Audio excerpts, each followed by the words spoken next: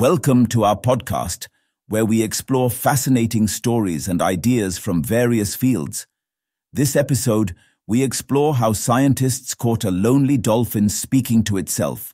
Scientists have recorded a lonely dolphin speaking to himself in the Baltic Sea. Dolphins are known to be social animals, and they have been seen smiling when they are playing with one another by scientists.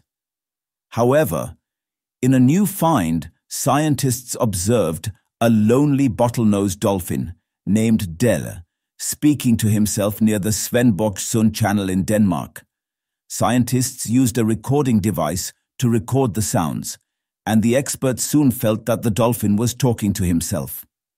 Out of curiosity, I decided to add a recorder that captures actual sounds, said Olga Filatova, cetacean biologist at the University of Southern Denmark and lead author of the study, while speaking to Live Science. I thought we might pick up a few distant whistles or something along those lines. I certainly didn't anticipate recording thousands of different sounds, she added. In the recording, thousands of bursts of clicks, whistles, and other sounds of different frequencies were picked. In total, they recorded 10,833 sounds in a span of more than 69 days of recording.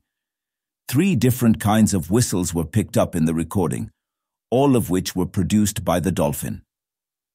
Bottlenose dolphins have what are known as signature whistles, believed to be unique to each individual, much like a name, explained Filatova.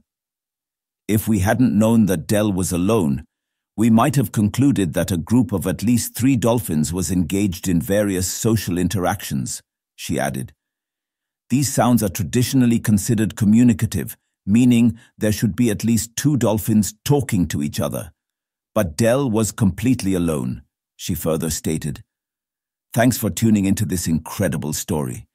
If this episode resonated with you, don't forget to hit the like and subscribe button for more captivating stories to come. Stay tuned.